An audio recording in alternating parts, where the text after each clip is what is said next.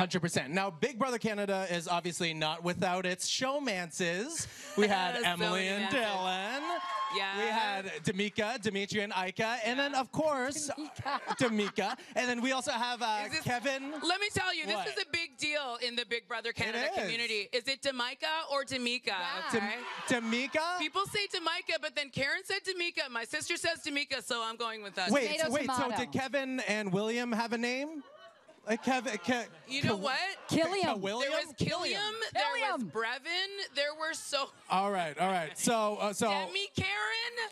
Don't I'm- forget about Demi Karen. I'm gonna get all I'm gonna get all Mama Dre right now because you know, as a fan watching this, what did you guys think of the showmance? Do you think it was a fair showmance? or Okay, do so you we, okay, think- we are going down to the we are- Kevin Williams show. Yes, we are going down to that showmance. Okay.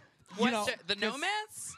Oh, Uh, see, Such oh, a good kisser. He's so good. Oh my God! But okay, do you feel like they kind of crossed the line? Only because I'm going to be protective, Mama Dre, right here. Because you know, obviously, Kevin, you play a good game. We've seen you flirt with Johnny though in your season. You also flirted with Gary. I'm not sure if William saw that, but it definitely just know, seemed, it seemed a bit like it was a game move, and I felt protective of you because I felt like you were being played by Kevin. Did- like, what- what Well, do you we are gonna think? well we're gonna pick Kevin's brain uh, Yeah, coming up. that's my line. very That- yeah. soon. And uh, but Arisa, what did you think as host watching this go down?